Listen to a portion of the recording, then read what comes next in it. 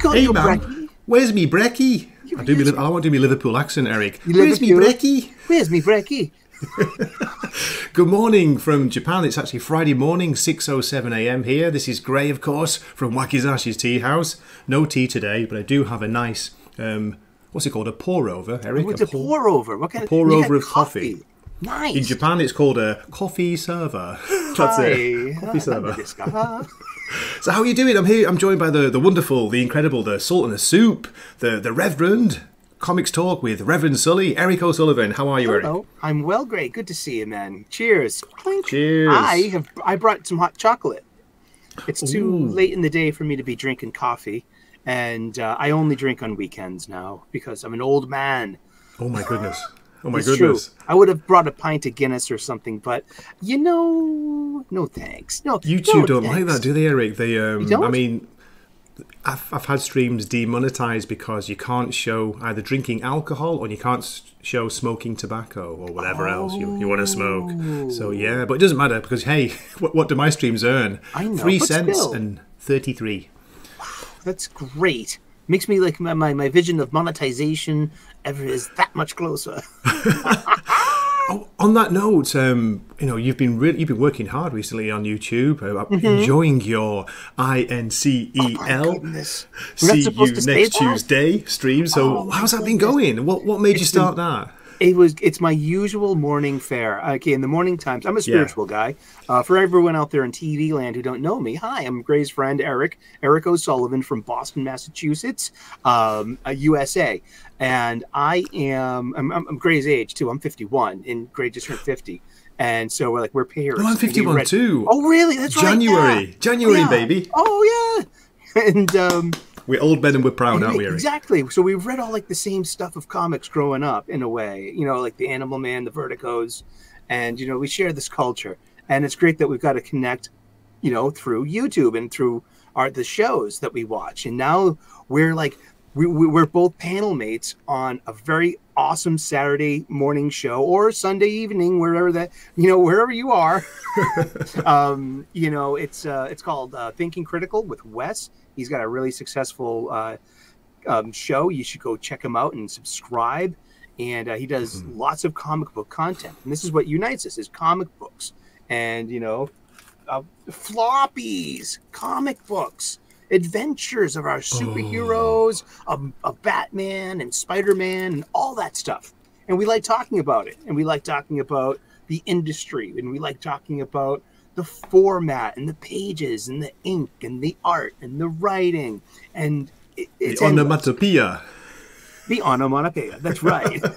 I love it when you say that. And um, Thanks, you, actually, I, I'm all joking aside. You've got Uh-huh. me to notice that a lot more than I used to Good, because um, good. I love it. I love it when people do like you know their own lettering and like Yes. different different styles, like really cool big 3D ones or crazy Yes. stuff. We used to do that when we were kids, didn't we? Eric? You know, sketching Yes. in our in our textbooks and stuff. It's it's it's a, for those out there. An onomatopoeia is a word that is spelled the way it sounds. It is the sound effect in your comic book.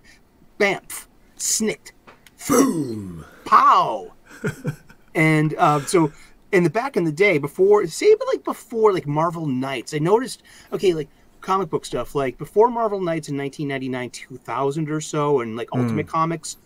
Uh, that's when we started turning the corner uh, in publishing when things went a little di- started to go digital and more so in lettering Yeah, and in coloring lettering and coloring.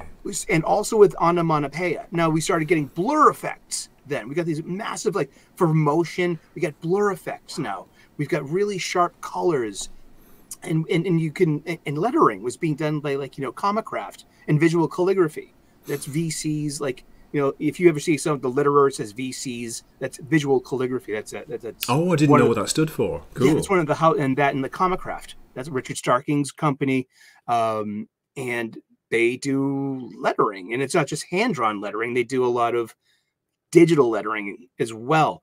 So with the digital lettering it, uh, comes digital onomatopoeia, the word that's spelled the way it sounds, and so it's um, they're usually hand drawn by the artist and it's so it's it, it's very you know it, it's included it's part of the art and so nowadays it's kind of like drop and drag Mm-hmm. and and cut and paste. So Yeah. when, when it was hand drawn, it had a, an organic line and charm to it that it looked real. It looked like it was part of the art. It reminds me of the classic underground comics from the old days, Yes. even proper indie comics, and we see it a lot in Daniel Warren Johnson. He loves doing it. Mm-hmm. Yes, he, he goes exactly. crazy with it, Oh, doesn't he? His, uh, beautiful. It's beautiful to me. Transformers series. Yeah, because it, and it's, it's it's enriching and it's part of the experience. And but now if you look at your modern Marvel comic and your modern DC comic, it looks like all all the sound effects look identical because they are identical. They just might be adjusted for size, blown up a bit, and um, but but they're just cut and paste. They're dropped and dragged, and um, it's just sometimes it's it's it interrupts my the flow of the of the panel or like my enjoyment of the art itself because it's so artificial. You know, comic books. Come on, that's cool though. Thanks for explaining that. Yeah. you. Do you know what? I've been pronouncing it wrong all these years. I used to say onomatopoeia. It's pay uh, anyway. you know you also say potato and You say con- tomato. I say tomato. controversy. Recent controversy at the BBC. Oh, controversy. Are you talking about controversy, Eric? I'm going to get Eric to do his British accent later as well because I love it. I always try and I, I try and get everyone to do British accents because you know what, folks, my American accent sucks. I can't do it anyway. So there we go. Awesome. So comics, comics, comics. Yes, we, we love comics. Um, despite the craziness of the comic book world at mm-hmm. times, especially at the moment, it's been going a bit weird. We are still huge supporters of the the medium, you know, of storytelling. Of it's a fantastic medium. But Eric, what would you say to people who, who like have a go at us and say, "Come on, you are 50 years old, 51 years Yes. old, and you're still Yes. reading comic books? Oh, What's you're that still all reading about?" funny books? What you, you, you haven't grown up yet? well, it, well, it's entertainment. I mean, what are you reading? You're not like you know, like me. I know what chicks are reading. The Fifty Shades of Grey. That film. okay, I read. It's me. That's about me, you know. By the way. That's you. That's right. no, no thanks. Um, yeah, because we love we love the medium. Just said so. We love it. It's storytelling, um, escapism, maybe not exploration. You know, and I, I got into it because of art. I, I love Yes. Mm-hmm. comic book art even before the storytelling. When I was young enough to you know say, "Wow, that picture of Batman looks awesome." I Yes. just got hooked from when I was like six or seven years old. You want some good Batman that's fresh off the press? Try um, this week's Poison Ivy, number 21, by uh, written by G. Willow Wilson, who I think is doing the yeoman's work.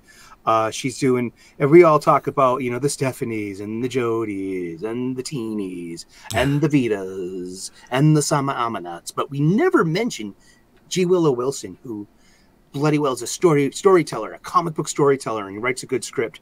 And so you've been sleep. Probably everyone out there in TV land, you have been sleeping on Poison Ivy by G. Willow Oh. Wilson up to 21 Is twenty one it still issues. the year one story at the moment? It kind it just fin- that wrapped finish? up. It was part three Okay. of three of the, the the secret origin of Pamela Isley. And but Mm. in this issue, it's like she's so it's it's act three of our three act story. She's full on. She's had her transformation. She's lost her humanity. She's basically died and be reborn as Poison Ivy, and she's now entered Gotham, and she's got her most classic outfit on, and she's contending with a very Bronze Age looking Batman and young Dick Grayson Robin, and the most classic looking oh, cool. Robin outfit. So it looks it looks proper. You know, we don't. It's like even over at Mark Waid and Dan Mora's um, Teen Titan, like you know, World's Finest Teen Titans. You know, they, they give Robin's like fifteen or sixteen by then, and they give him pants, you know, and, and boots. But this is like Let me see if I can share. I'll share some of the images, Eric. I'll be right back. You keep going. Cool. Here we go. This is like you know like a 10 year old dick grayson. He's got the short pants and the pixie boots and the yellow cape.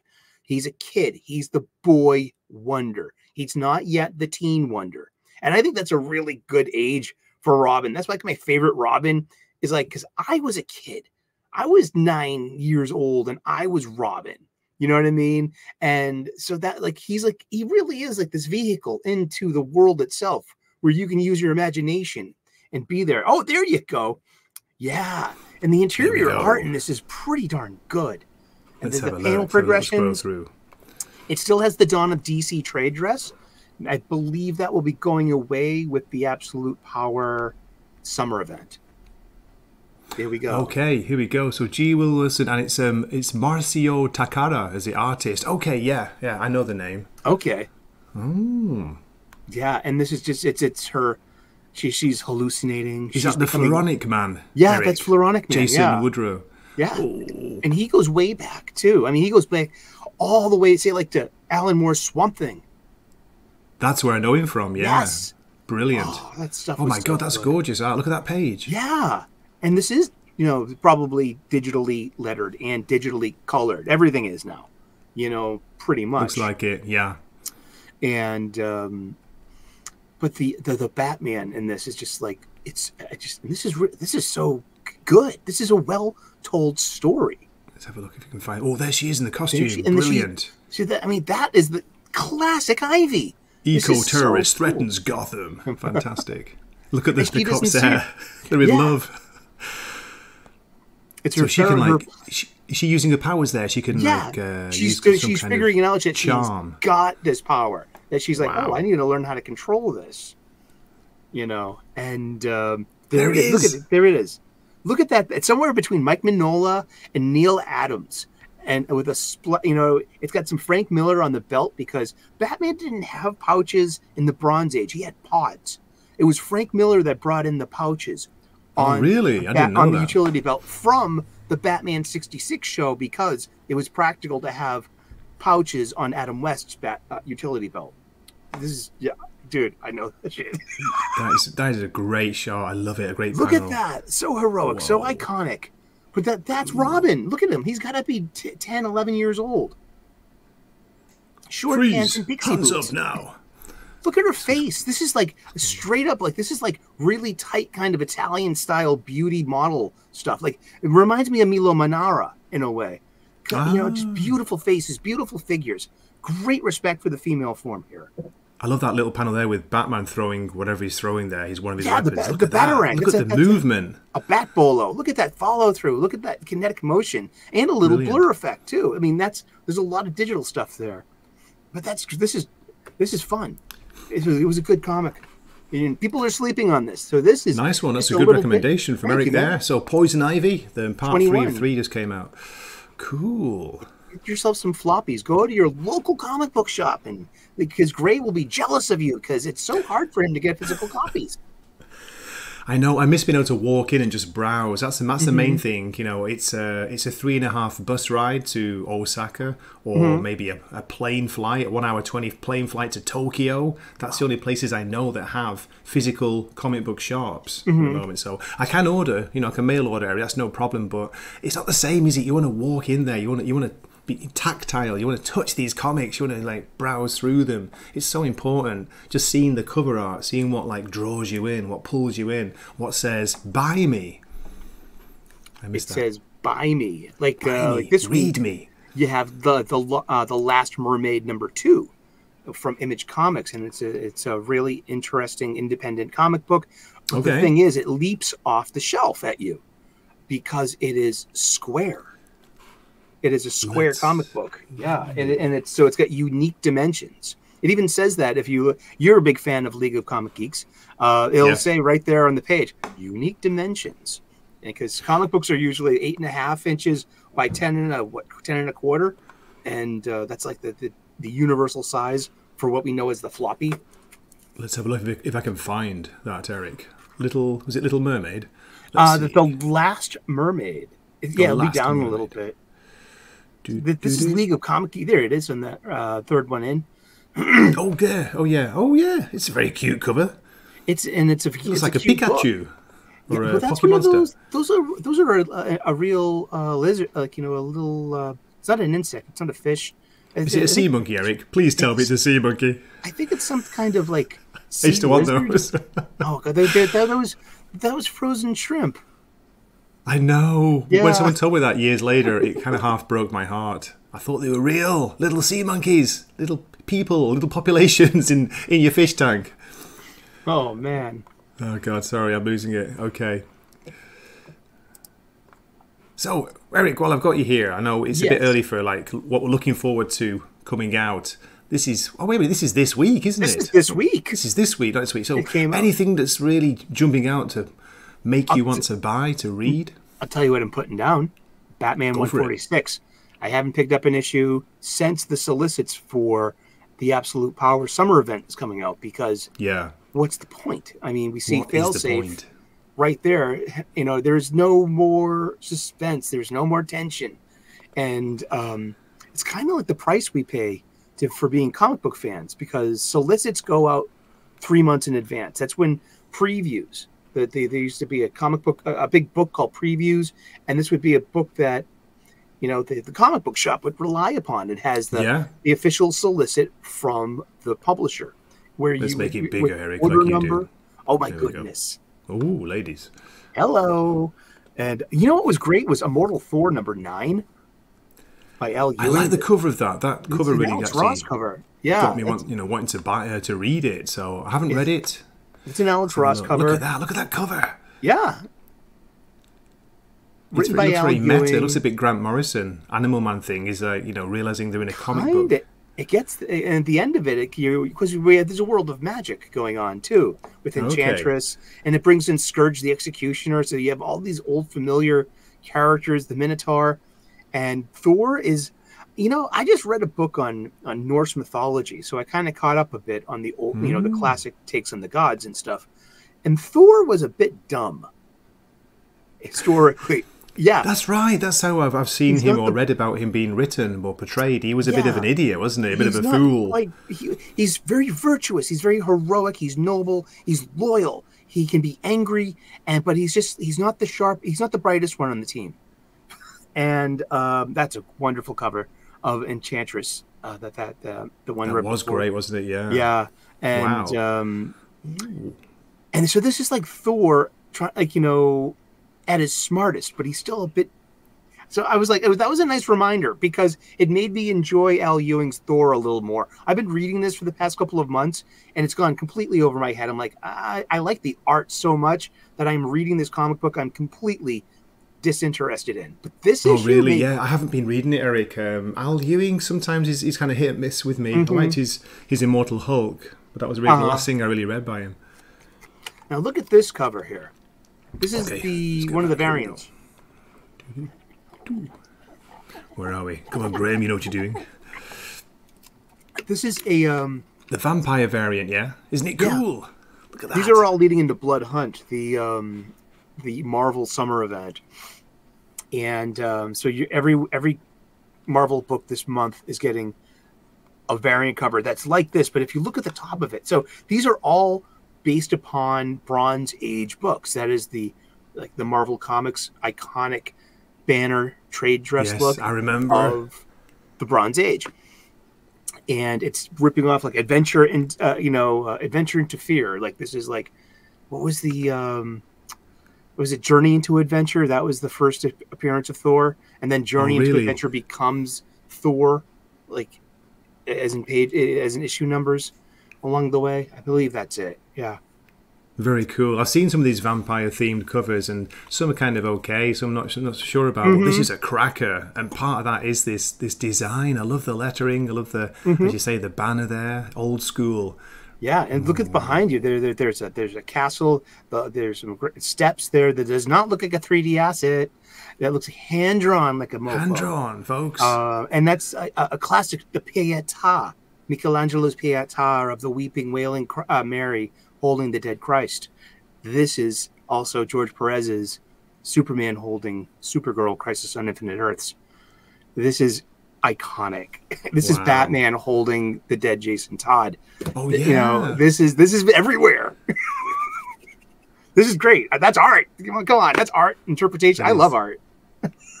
That's brilliant. Fantastic. So that's a recommendation, is it, from Eric? Yeah, I think that Thor, random. Immortal Thor. Yeah, I, I enjoyed the hell out of that. Legacy issue 770. Indeed. What's on my poll? Uh, any of these on my poll list? Um, no, nothing here in the first two rows. I, I read that X Men book. I read all of these issues.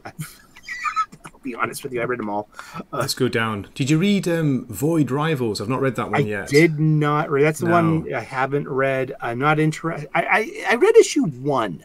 I got a, I got a one in twenty five variant cover because I could because I could. I got the Okay. you know I, just, I could have got a one in one hundred, but it, that literally would have cost seventy five bucks. Like no thanks. I'll take I'll pay twenty five bucks. Yikes. I'll pay twenty five bucks for this one in twenty five variant. why Yeah. not? It's it's a key issue because it is the first issue in the Energon universe. So it is a key issue. Hey, I read Gunslinger Spawn. That was fun. That was easy to get into. The art was really good.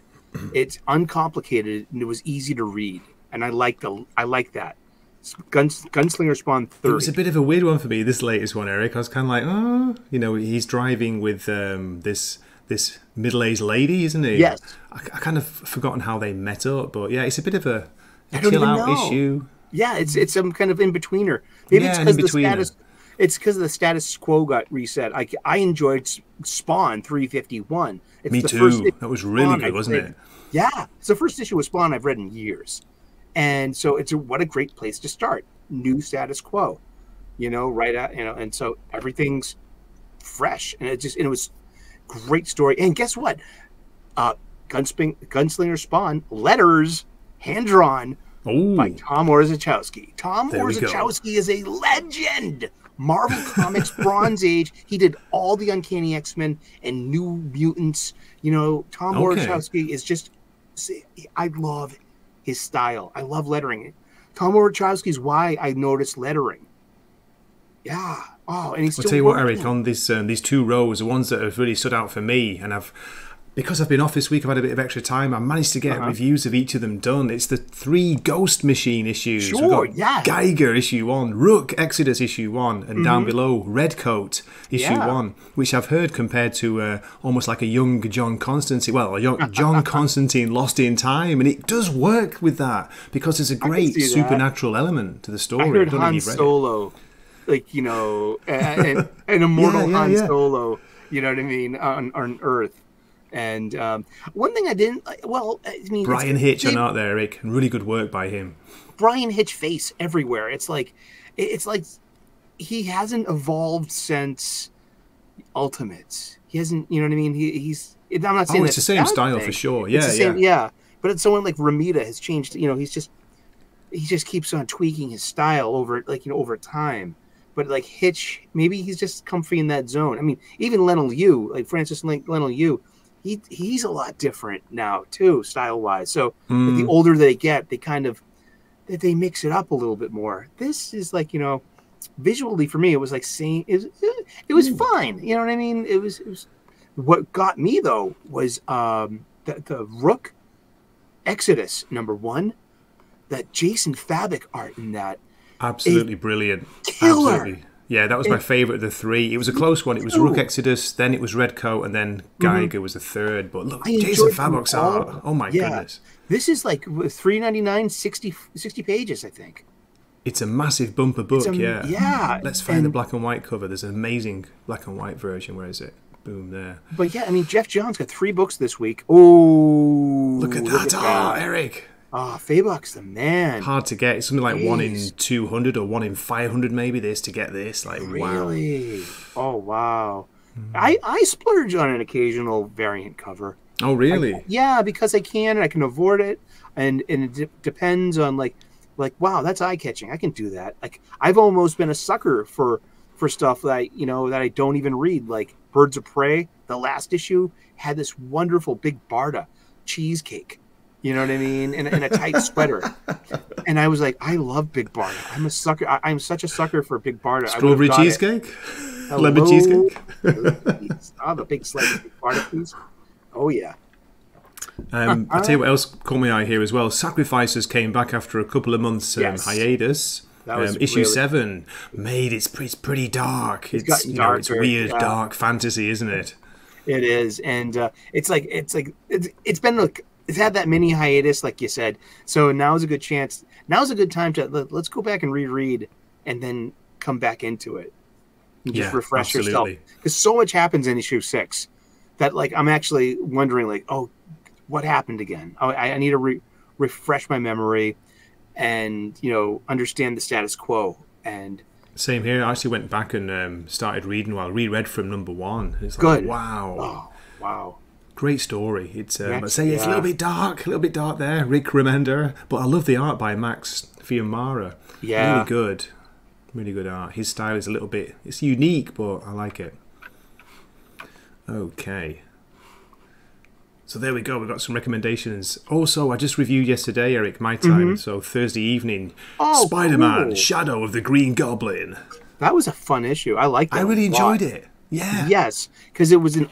It's like it's young Spidey, and it has none of the luggage of uh, of modern continuity or anything. Right. Hmm. And so it's it's blissfully free of all this luggage, and it can just and I J. Michael Straczynski. Now he's he is missing it with me on on Captain America. I don't know what's up with that book. I haven't liked anything. uh, All eight Okay, this one it's actually J.M. DeMatteis. J.M. DeMatteis. Oh Oh, shit! That's right. I'm sorry. Oh, it was the Jays that got me. Oh, crap! The J's always get Oh, me as well. Sorry about that. But James DeMattei is here. He wrote Kraven's Last Hunt. He Oh my god, a lot of love Spider-Man. that. Yeah, yeah. Okay, so sorry, J. Michael Straczynski. Sorry. I was getting mixed up too because I thought J.M. DeMatteis had a run on Spider-Man, but that was Straczynski, wasn't it? Or am I getting mixed up now as well? They both actually, the you know, they both did. Straczynski had a wonderful run, especially with John Romita Jr. and Scott Hanna. Minus Uh, 10 geek points, Gray. Oh my God. Oh my goodness, the late '90s to the early aughts. It was a huge J. Michael Straczynski, June, John Romita Jr., Scott Hanna. Oh God, those stories were so good. You know, just they're one. That's a wonderful time to be a, a Spider-Man fan. Spider-Man fan. Uh, Eric, this cover here, can I just Yeah. ask you? The Green Goblin looking a bit feminine. Feminine to me here. That's what really That caught my eye. smile. You know what I mean? He's got the face and the smile. Dangerous. so- Look at those ears, they're huge. Love it. I, yeah, but this was a fun book. This is going to be a good trade paperback when it collects. Oh, yeah, without a doubt. It's a new to me artist. Um, can't remember off the top of my head I'm still here. The artist name. Where are we? Where are we? There we go. Got it. Michael Sta Maria. I don't know why it's S T A. Michael Sta Maria, but I love his style. It's an old school style, a little bit like um, a, uh, what's the word? More skillful version of John Romita Jr., if I dare say that. Cancel Gray. Uh oh. Uh oh. It's snowing here. Are you snowing? a Are you snowing, bit. Eric? It was. It was what? It was. Uh, You what, love? I, wa- well, I was. I was up the chimney. Oh, the chimney sweep. Oh, Jim Jiminy, Jim Jiminy. No, never mind now. Don't start singing, Graham, whatever you do. Okay, no, you're good, you're good. So, yeah, that's cool. we got some recommendations out there. Speaking How of we a musical. Okay, uh, we're having an unboxing right now. Are you doing the unboxing? Okay, let me stop sharing the screen. Here we go. oh my goodness. This what great. do you have in your in your hands there, Eric? Ladies? Reminded me with with your musical cue. It's not a line to get into the theatre. Song of the South from Spain, where it's still a in Spanish print. version. Let me just make that full Yeah, screen one and more it- time. There we go. and it's um, this is fully in English with with or without Spanish subtitles. Canción del Sur. You know, two Oscar nominations. Yeah, I like And, the uh, cover art, by the way. It's painted art there. yeah, and I believe Jay Baskett got a an Oscar for that too. Yeah. and, uh, Okay. what made you pick that up? Ongoing physical convers- media. ongoing conversations about um, censorship and modern Disney, and then people Hmm. are presuming that okay, they're at Disney World or Disneyland in uh, Orlando, Florida. Splash Mountain has been taken away and replaced with like Tia's Princess Tia from Princess and the Frog. Um, was a, a young princess of color, and um, Splash Mountain was based on Song of the South with Brer Oh, Bear. No Brer way. Rabbit, and all the songs and all the characters. And so all uh, you know, Brer Bear and Brer Rabbit, and all you know, it's Brer Rabbit. Yeah, Mm, they've mm, been mm. taken away because they're character. deemed to be racist, and and they're not. And because this is like, it's not about the people are just conflating this with with with racism and slavery. And it's like, so we have you know, you know, Lorena Creole on on Twitter. Yes, I know She's the, a- the name. Yeah. Lorena, she's a she- she's a beautiful woman of color, and she's from the South, and she is like she uh, just always is like, no, don't let them fool you. Song of the South is one of the most wholesome movies. These are some of them. These are authentic African American uh, stories that are in here uh, that shouldn't be forgotten because of your miscommunicating and, uh, and mislabeling this wonderful movie. And I, I haven't seen this since I was a kid. So I don't yeah. think I've ever seen it all the way through. I don't remember it being on TV Zippity when I was young dah, in the UK. day. Yeah, I know the oh, songs. My, my, exactly. I mean, like I'm gonna probably end up crying. You know what I mean? Like I remember this when I was a little baby. What? Plenty of sunshine coming my way. Something like that. Zippity doo dah, zippity day. See, look at that. How would I even know those words from growing up in the UK in Manchester? I have no idea. It was part of our culture. That Yeah. was like West Big. It was 1947 Disney movie, and it went everywhere. You know, So, are you saying is this not available now on, on D plus? Have they have they censored not- themselves? Have they decided Yeah. that we're not we're not adult enough to watch them? right? It's not available for purchase, like you know, with U.S. distributors or something. Or it's not that it's censored; it's just it's not produced, so it's not on market. They've stopped you can get- producing it. My goodness. Yeah, exactly. It's been it's been put in the crypt and it's been shelved. Yeah, unless like culture changes again, people like relax. You know. Frankie says relax. Exactly. See, see, folks, we are the same age. Eric gets these, gets these references. dun, dun, dun, dun. Sorry. My God, I need to drop a clip quick, quick, quick. Ah. He swaps his long sword for a wakizashi. So Hi. Tell we me how he died. No, I'll tell you how he lived. Tom Cruise in The Last Samurai. Oh, Uh, you know, speaking of that, Ken Watanabe is awesome in that, of course, and so is Tom Cruise, surprisingly. Uh-huh. But I'm watching um, Tokyo Vice at the moment, Oh, Eric. I just how's finished that? season one. He's in that. It's really good, but it's it's because of the Japanese connection, probably. You know, I really Uh-huh. like it. It's set in Tokyo, 1999 Tokyo, so a little bit back in time. So much fun. The Yakuza world and the the hostess snack bar scene. It's really really interesting based on a, a, a true story. Initially, American, I think it was the first American to work for the Yomiuri Shimbun, which is a, one of the big Japanese national newspapers. He Okay. passed the exam in Japanese. He took, of course, he had to take it in Japanese. He passed it. He got a job there working in the crime division. Worked his way up, and he was covering the yakuza stories at that Mm-hmm. time. So it's fascinating. Oh wow. Hmm. You ever see the movie Black Rain? Oh yeah, I remember that. Yeah, Ridley. Scott. Back in the day. Yeah, Michael Douglas.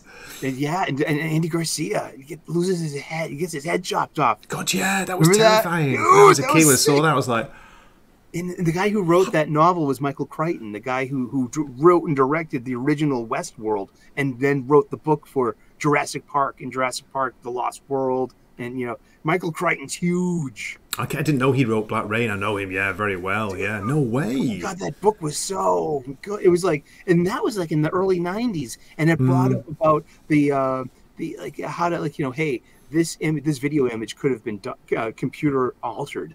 You know what I mean? The computers here are so good and cutting edge here in Japan. This video was altered. That's the murderer.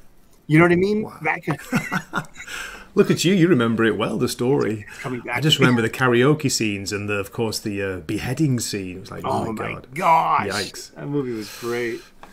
Cool. Yeah, Ridley Scott movies, man. I it makes me. I got to get a copy. I, I got a four. Uh, I got a an Ultra 4K player, uh, a brand new one on uh, Robert Meyer Burnett. Meyer Meyer Burnett's suggestion.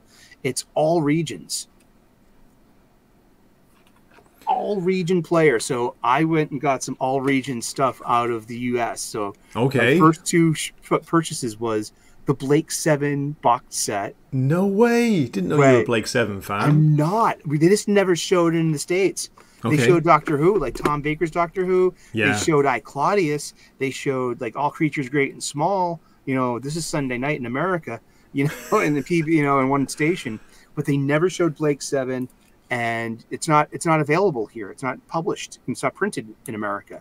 So No uh, way. yeah, this is that. a uh, this is one of you know, you know the this is a, a BBC copy. Yeah. I'll tell you what, the fans of Blake Seven, they are, they're, you know, of course, they're huge fans of it. They're always trying to get people who haven't seen it to watch it. Uh-huh. Science fiction story from the BBC. It's, it's, it's a bit, you know, rough and ready, a bit cheaply made because it was Yeah. a BBC. But I've heard the writing, the story, and the performances are meant to be really good. dude, I love this stuff, but it's like it's like Space 1999 and Hmm. UFO. I like those just like just beautifully shot, you know, and like basically British shot shows. Those have all those are British production quality.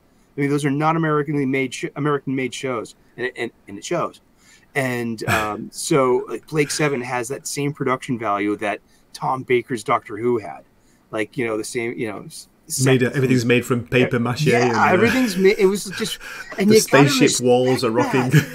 oh my goodness. Man, I mean, and, and here we are in the age of CGI, and, and this stuff kind of has so much more charm. I don't know if it looks better, but it's got it's more charming.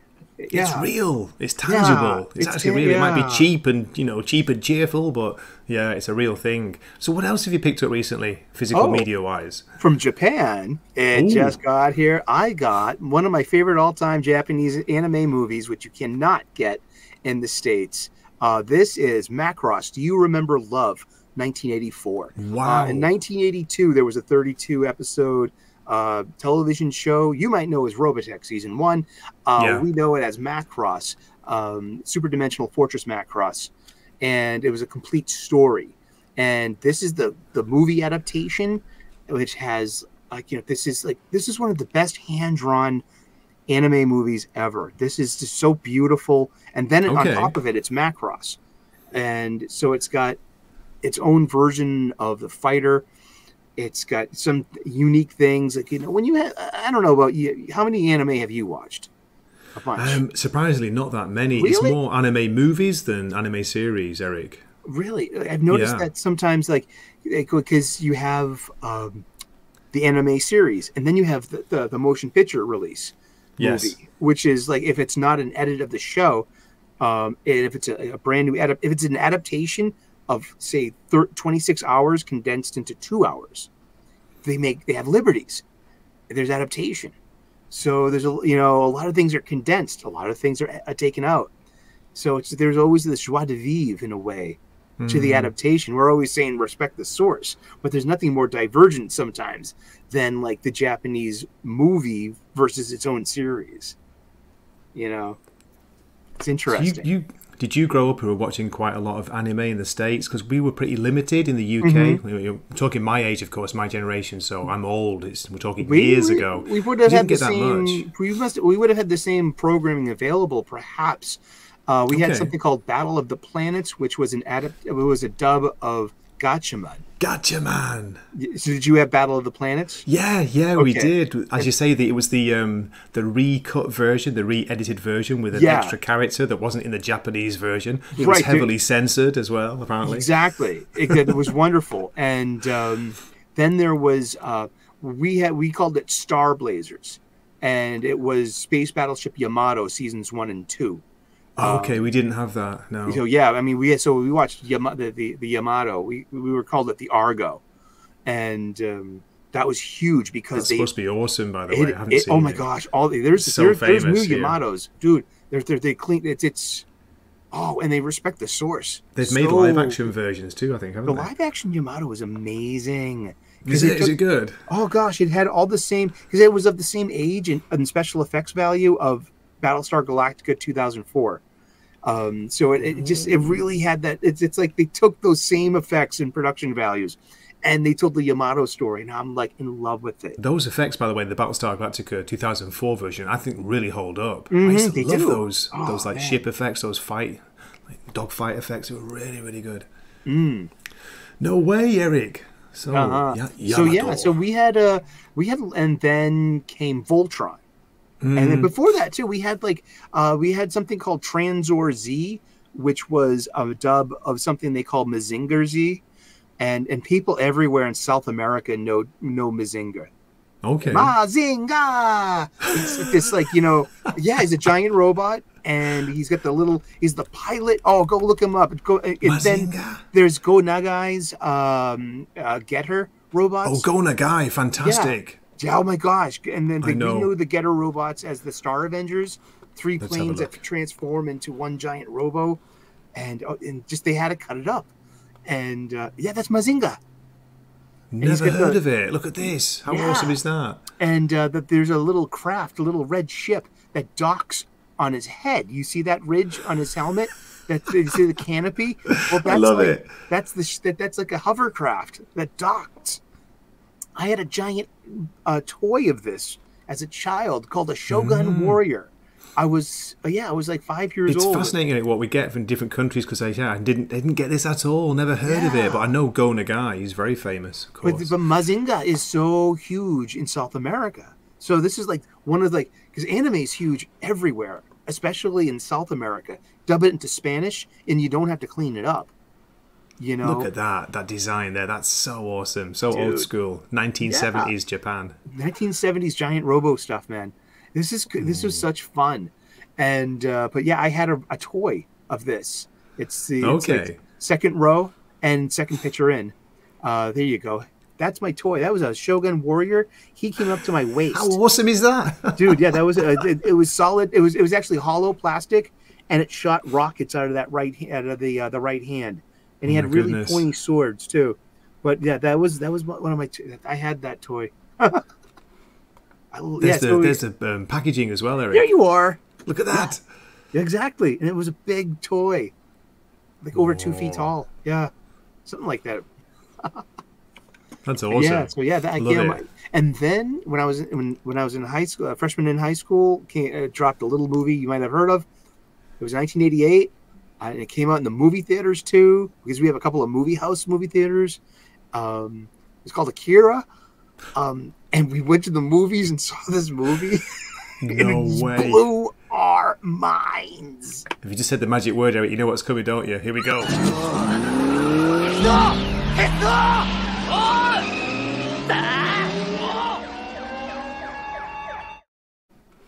Neo Tokyo, in their glory. Have you Coming read the book?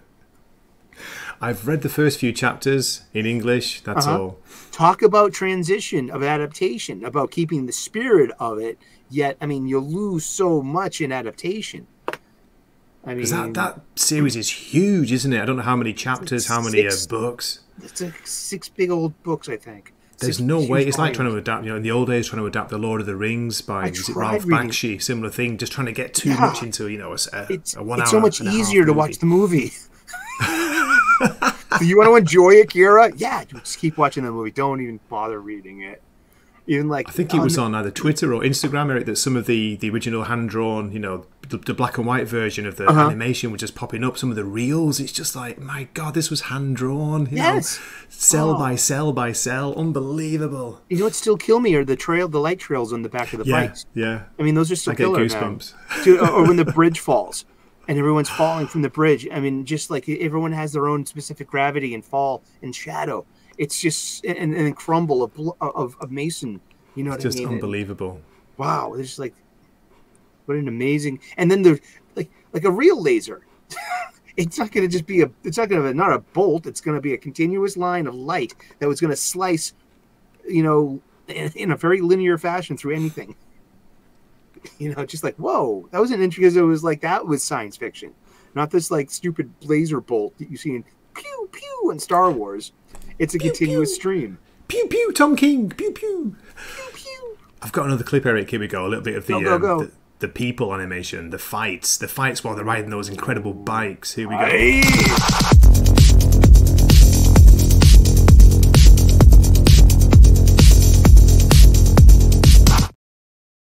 Ooh, that's gotta hurt.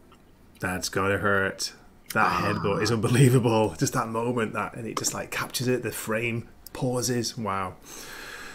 Have to keep those uh, clips very short, folks, just in case you're not sure why. Because we get hit by YouTube, by you know animation companies. It's so easy. So eight seconds is the key. Under nine seconds, usually you're okay.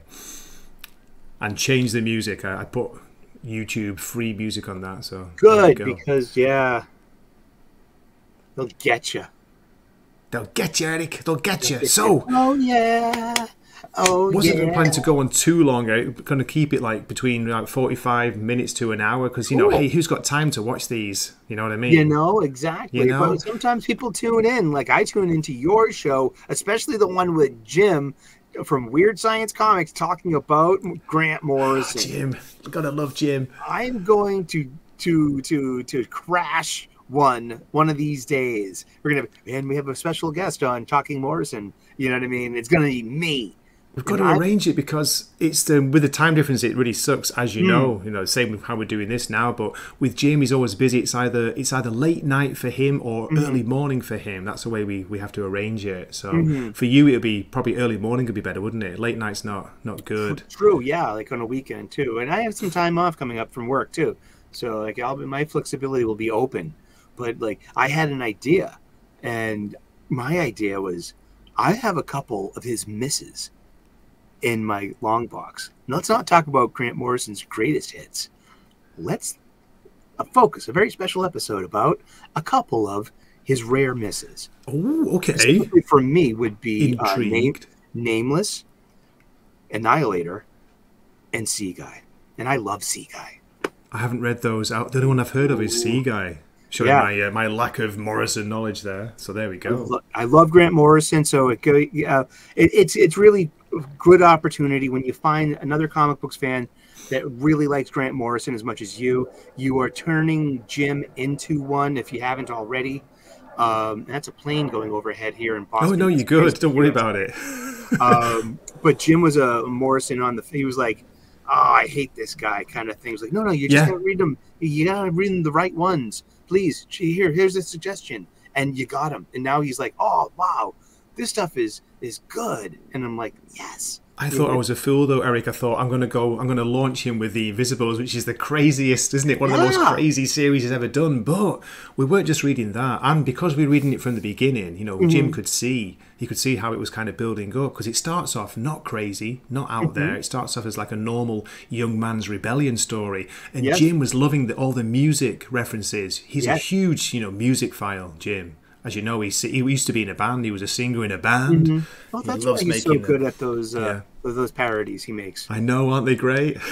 I, I hope he's getting to see the individual uh, cover to each individual floppy of the, there are Yes. 66 issues of the Invisibles altogether, I believe, and um, and the wonderful oh god, the, the volume three of the Invisibles counts down from from It does, 12. yeah, yeah. and and they, they got these Brian Bolland covers and they're sick, Oh, they're Brian great, and Bolland. they're just like Well, he did the Animal Man covers, of course, as you know, Yeah, very famous. And just- me and Jim, of course, we're loving those. It's great to revisit them, to go back and see these. Those covers are iconic now, Yes. Oh man, it's just this is like the art and comic book art, and it's just this the premier stuff. This is what we're unfairly comparing today's offerings to.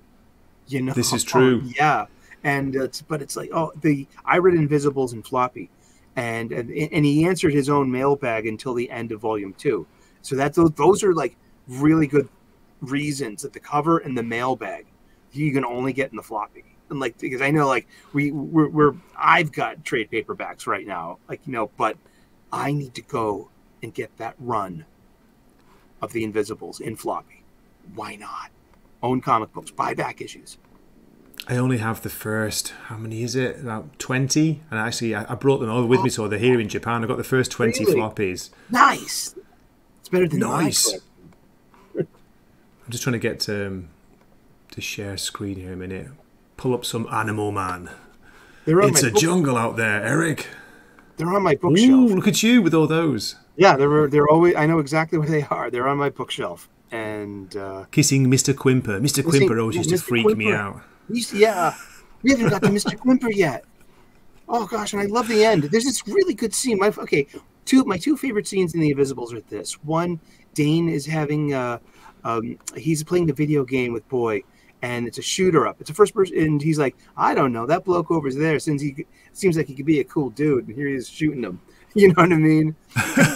he's having one of those Buddha moments because he's supposed to be the future Buddha, and Buddha. Uh, Buddha. and then there's just like when, when when King Mob went to the went to the mountaintop, he grew his hair out and his mantra.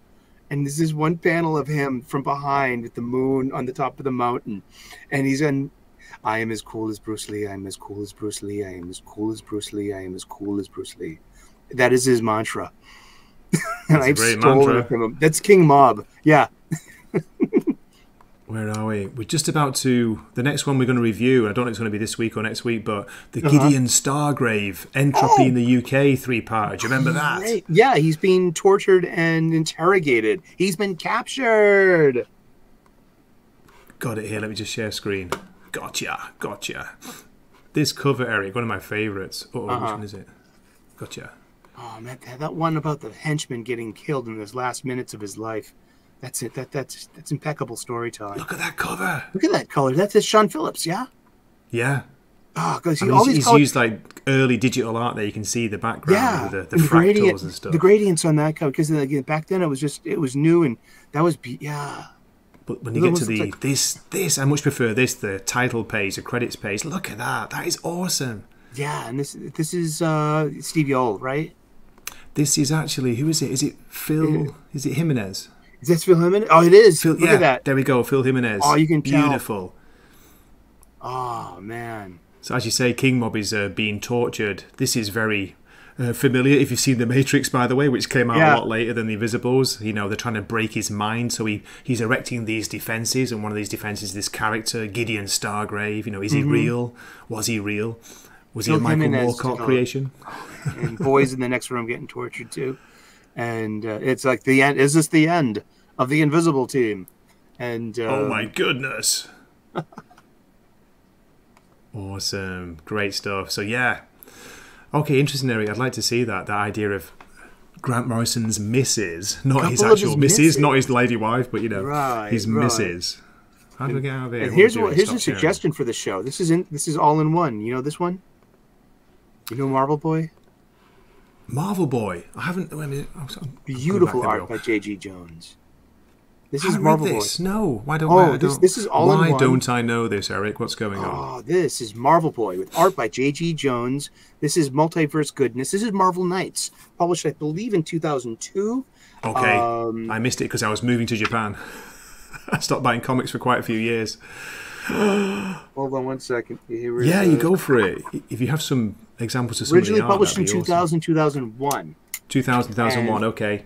and it's about it's it's a, just a new telling of Marvel, you know, or you know, Hmm. and this is actually Noh-Varr, the Marvel Oh. boy, Nova, Nova. and the art in this is just so good, and they and it's just over the top Grant Morrison goodness.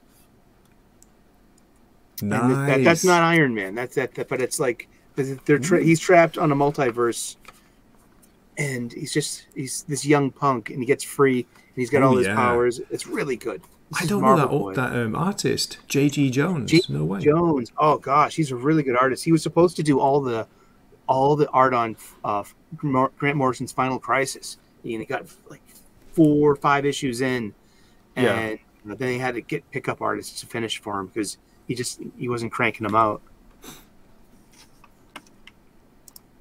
Good stuff. Superb. J.G. Jones also did uh, Wanted with Mark Millar. Oh, really? Okay.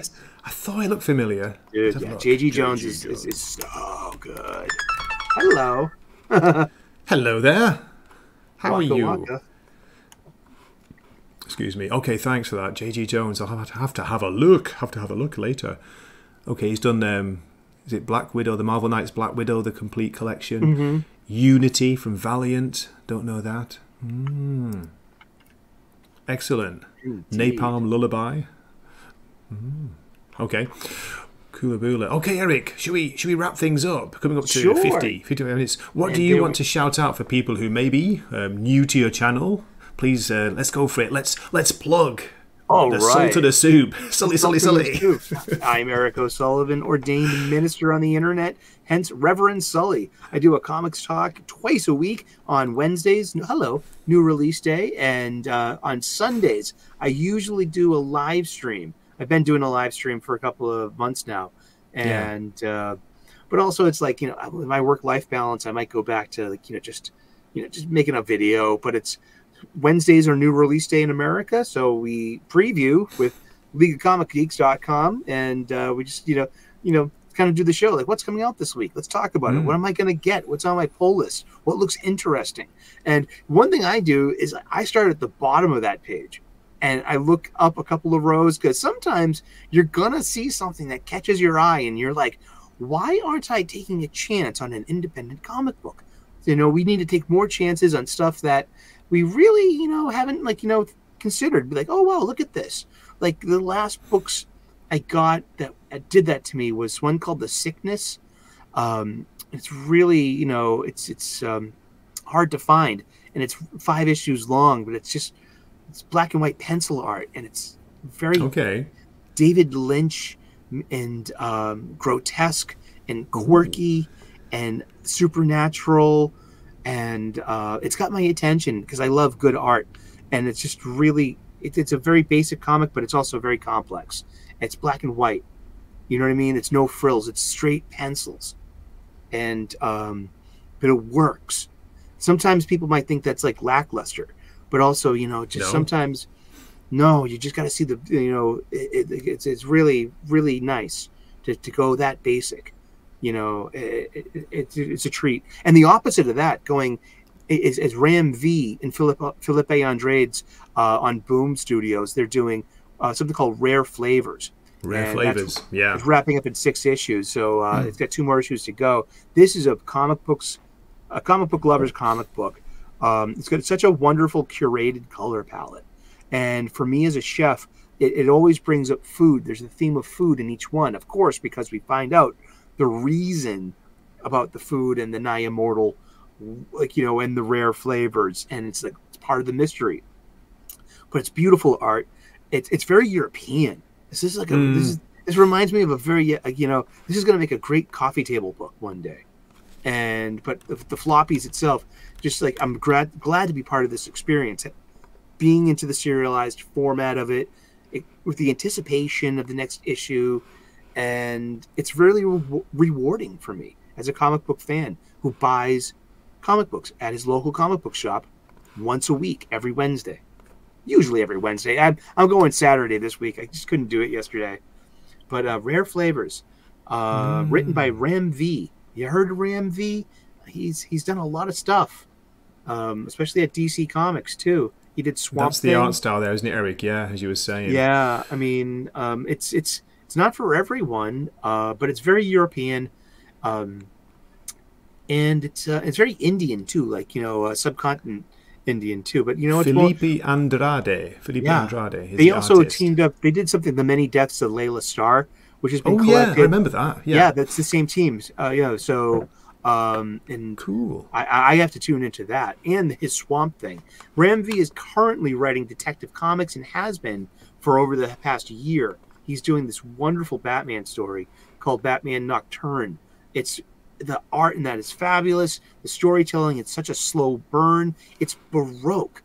You know what I mean? It's it's it's it's it's so like ornate. It's so detailed. It's so dark. It's it's so it's so well done. If, if people are complaining about Chip Zdarsky, uh, is vapid storytelling over on Batman. Yeah. Thank you. You have such deep complexity, uh, like over on tech, on Detective Comics. I'm with trying to remember the Ram V. artist name, Eric. It's on top of my head. I can't. I think is it Federici? No. Yeah, uh, Federici, yeah, is, is doing a lot of work right now. Yeah, and Sean Alexander had done the the arc before Stefan. that. Oh, sorry, Stefano Stefan Raffaele Raffaele. and Riccardo Federici. Yeah, coming Stefan up. Raffaele too. He did the first couple of issues of the of Catwoman, um, Nine Okay. Lives with Yeah. Howard. And it's like that's what I was saying about the Italian um, penciler with those fine lines, that attention to femininity of like fashion models of, of Milo Manara, of the face and of the body. Like there's real real respect for woman. Beautiful, you know? curvy, curvy Yes. lines. We love the curves, don't we, Eric? Oh we do. gosh darn it! I love a well drawn woman. well, awesome. That's cool. Yeah, as um, as you know, like with the time difference, um, sometimes I'm able to catch yours when you're either not not live, maybe when you do Mm-hmm. your premieres. So if it's early morning for me, I do like watching those. So do check those out, folks. If you've not, Yeah. Very- if you're looking for a positive spin on comics, because Uh-huh. hey, there's so much negativity out there. Yeah, as we we, haven't know. even gotten to the gloomy Negativity get clicks, don't they, Eric? Neg- negativity unfortunately gets clicks. People like me and you who focus on positives, we don't seem to do as well, but we don't care because we love what we do and we don't want to be ranting and raving. Right it- and we're talking with other people who love this stuff and we're in a very I, I mean when it comes to having a tribe i'm very you know pleased that i've been accepted into a tribe of really interest uh, you know interesting um, diverse voices and it's like wes is thinking critical is a big you know you know is a hub of that and i got to like you know meet you and like max von, uh, von priestley and, uh, josh um, josh mcdonald of popeye culture of Yule Carter of Fantastic Comics, of Jim Werner of, of, of Weird Science, of Doc. Uh, uh, he doesn't have his own channel. He's basically Wes's co-host, Wes at Thinking Critical. These are if you want some really good comic book talk in your life, you know, any of these channels, subscribe, and they, they you know, you'll be talking comics all week long. And you know, some of it, you know, gets a little bit like you know, outragey concerned, but most of us, we're pretty much like this. we love comics. We do. We just want to talk about the, the thing we love, which is Yeah. one thing is comics, and that's it. Simple as stuff. that. Yeah, there's plenty of good stuff out there. Don't don't let all the outrage content get you down. Seriously, here I am wearing my Ethan Van Sciver shit. You know what I mean? Don't let me down. Do, do, do, do, do, do, do, do. Don't let me down. This has been awesome, Eric. It's been cool. We've, we've, we've covered a lot of topics today. We've kind of just we've gone where the spirit has taken us, and We I've really enjoyed it. Gloomy either. I mean, It's been great catching up. No, we didn't. There's things we didn't talk about. We talked about maybe, but maybe another time. But yeah, it's been a really know, positive uh, chat. yeah. Thank you. Exactly, and thank you guys, everyone out there in TV land, and uh, you know, s- say your prayers. Good night. God bless. Good health. Yes, we'll tell you. We'll see you in the next uh, next video. Don't forget, subscribe to Eric O'Sullivan and, of course, me. If you're not subscribed to me, what are you doing here? Exactly. Goodness Hey, gracious. I get something to ask you real quick. Hey, Gray, are you Genki? I am. I'm Genki. Even though it's early Friday morning, I've had me coffee, I've had me toast, and I'm feeling Genki. I love the way that people are saying that word now, Eric. people, people are using it. They know what it means. You know, the good, the good, the, the vital key, the vital spirit. Yes. know, are you yeah. healthy? Are you well? How are you doing? Are you in good spirits today? Goku's got Genki? Ah, you know, or is that, or is that Doki? I don't know. Doki Doki. Doki Doki Doki.